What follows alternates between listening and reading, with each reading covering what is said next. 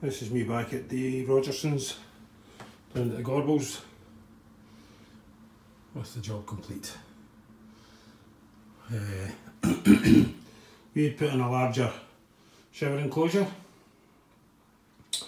Um, to just give a bit more space internally inside there, which makes a bit of sense. Changed it to a vanity unit here, valuable cupboard underneath with a lighted mirror above. Again, loads of space there. And a deluge shower with a variant rail and a handset.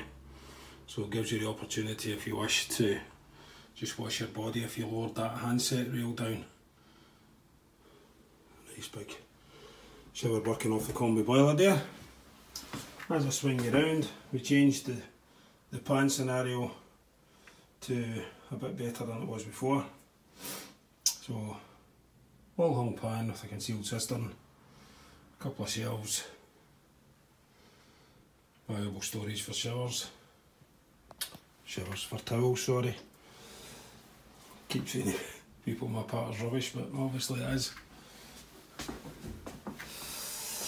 so another happy customer.